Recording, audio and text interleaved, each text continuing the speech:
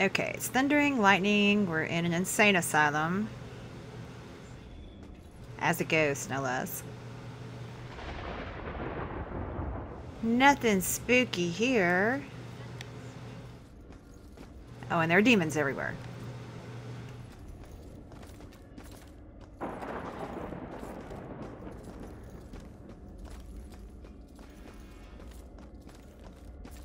Did I mention there are demons everywhere? I don't like these demons.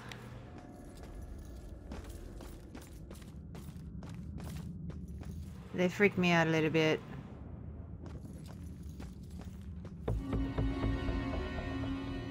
Sixteen of twenty-five. I'm guessing I have to go through the wall here?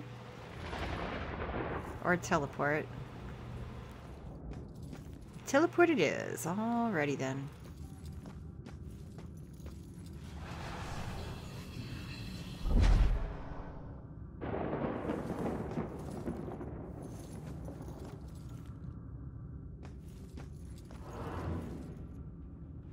Oh, there's the ghost wall. Okay.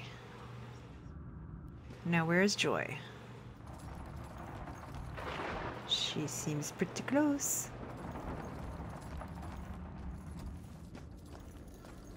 Another one of these. Oop, one more and we'll have that one. Hey, Ronan. Did you forget about me? Yeah, like I had a really easy walk.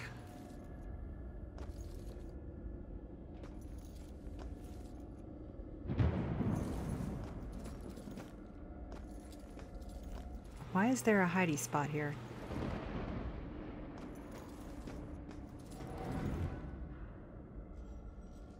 Just making sure.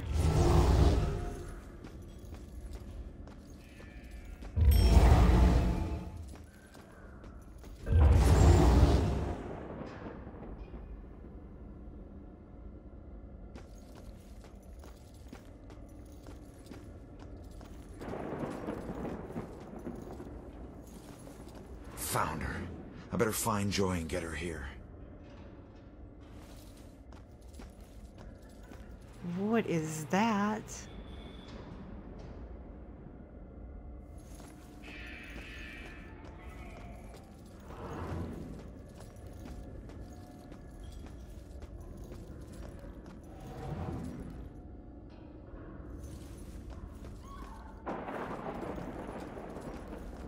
Okay, just real quick. News article number five. In a Salem Police Department news briefing yesterday, department spokesperson Ingrid Larson confirmed that there has been no suspect arrested and that there are no le- new leads in the case.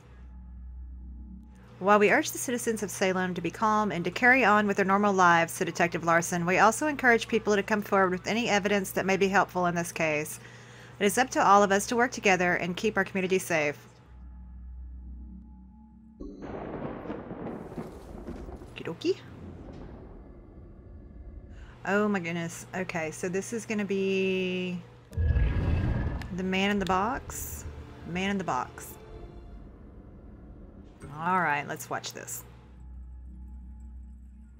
I've uh, I've had a long career working as a state inspector for the Department of Mental Health. During that time, I've been to a lot of institutions, and I have seen a lot of horrible things. But um, nothing even comes close to the evil events that I witnessed at Fairhaven Sanitarium, the place they now call Lux Eterna. I first arrived in um, 1926 to investigate claims of overcrowding and neglect. However, Fairhaven's reputation was tainted long before that. In 1911, Fairhaven opened its doors for the first time. A notoriously violent criminal by the name of Jack Yates was the hospital's first patient. He was to be the, uh, the, the shining example of the hospital's ability to cure the mentally deranged. However, when the superintendent's family was visiting one day, Yates broke free from his restraints and he, uh, he killed the man's wife. Since then, no one knows what happened to Yates or the superintendent. Well, that is, until now. Superintendent Wallace Halstead greeted me at the door. He seemed as empty and unkempt as the patients he lorded over.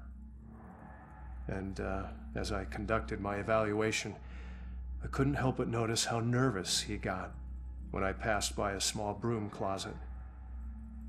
And naturally, I felt it necessary to find out why.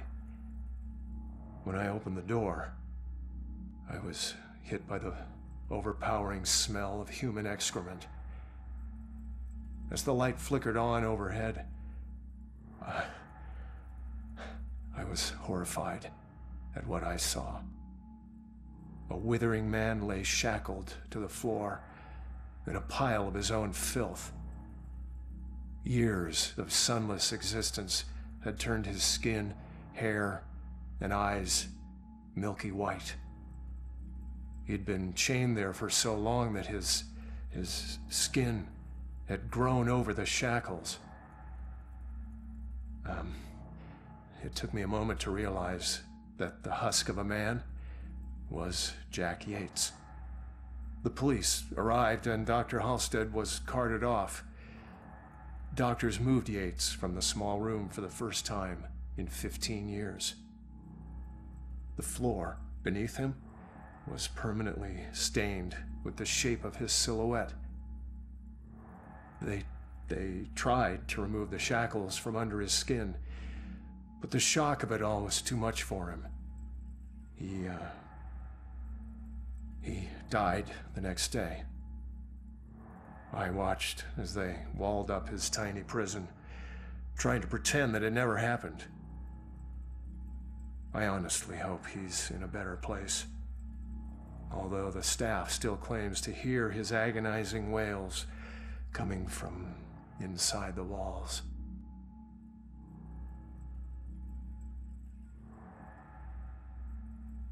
Some seriously twisted people in this game.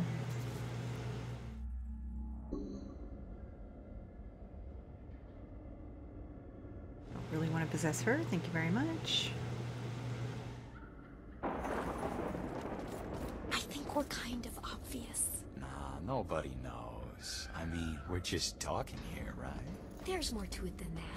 You think we're invisible, but people can see things. Only if they're looking in your apartment window.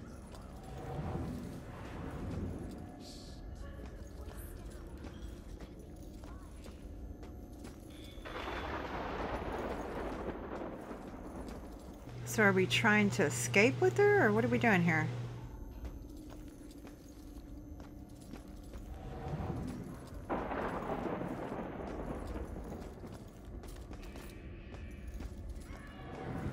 I guess I should just go find out, huh? Okay, so she's there. And I need to get these people to move.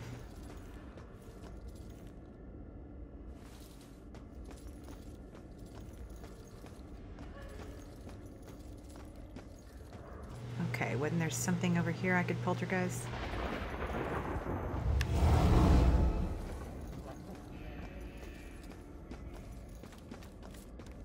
Maybe not.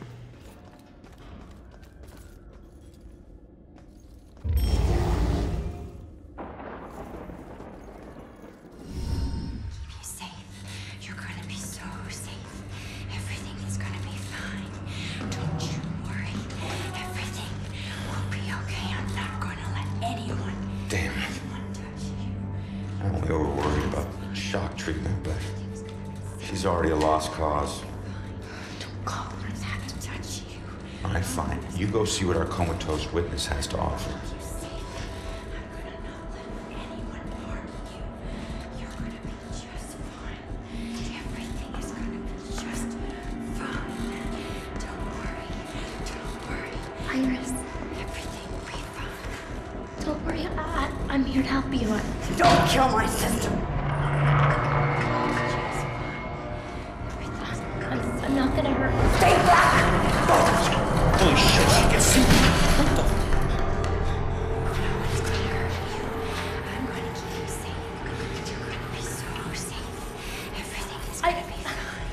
I know that symbol. I, I've seen it before. Where? We'll be okay. I, I don't know. I, maybe in my mom's book. Just fine. Everything's gonna be safe. You're They definitely look familiar. This one means protection. keep you safe. I'm gonna not let anyone. I knew this was Wait, wait, wait, wait. Contract. She still knows. She still knows.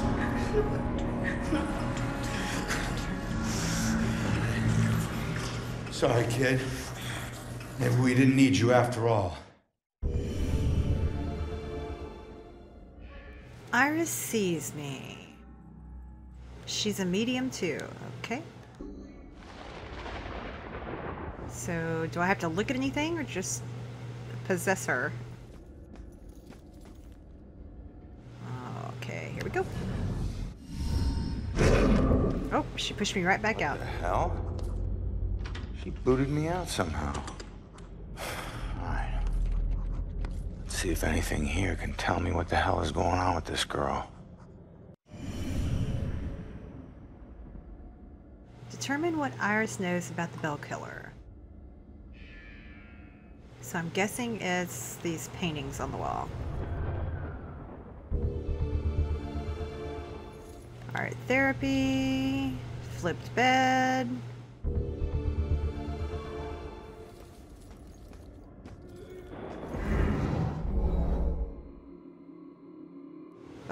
I guess that's burned at the stake. And Bell.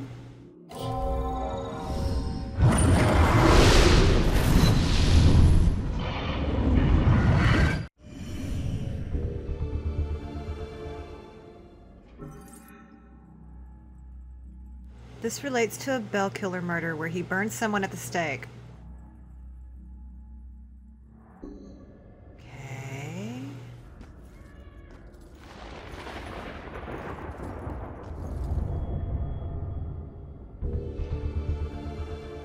Troubled. Inner demons with these drawings.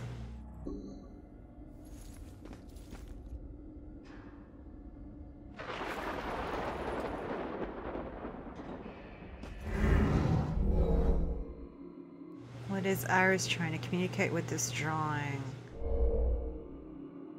Uh, I'm gonna say chased. And I'm guessing tormented?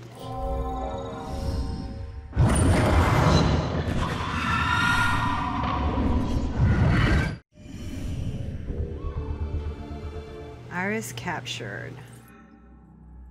Iris was captured by her assailant.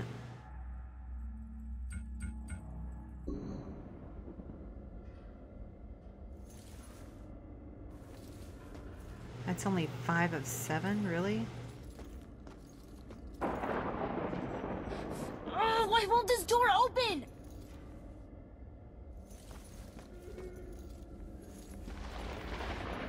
So. Oh, here it is. What is Iris trying to communicate with this drawing?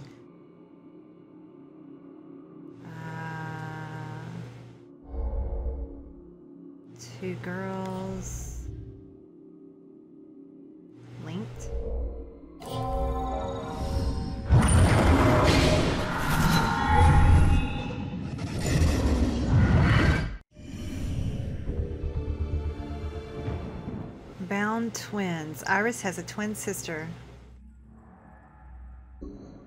Oh.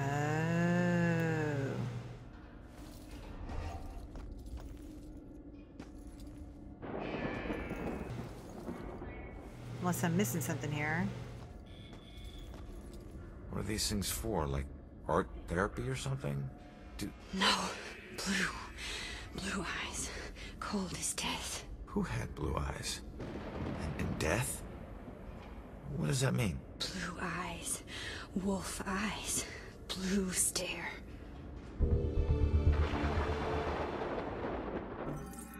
Iris was deeply disturbed by someone with blue eyes. Okay, let's conclude this.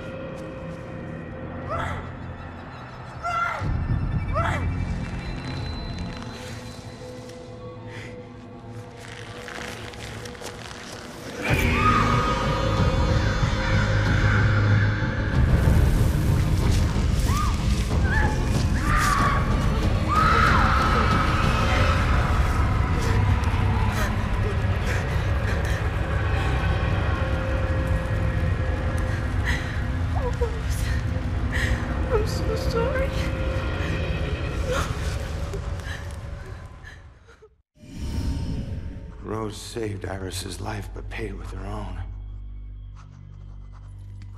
Bell killer's going after young girls. Well, what was it? What, what'd you see? Poor kid. Her sister freed her when they were about to be scorched, but she couldn't return the favor. Iris,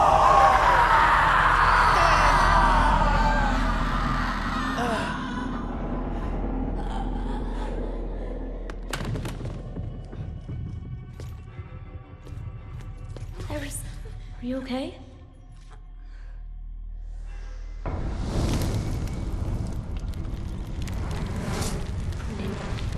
It's Rose. She has flames. She was possessed. I told you to stay back. Who are you? I'm Joy. You don't belong in this place. Orderlies. Crap, I'm so dead. All right, Iris could be the answer to everything. Help her, help her. Come on, she's coming with us. No, you're not taking her. You want the orderlies to shock her? She stays here. You want her to be safe outside? She comes with us. It's up to you.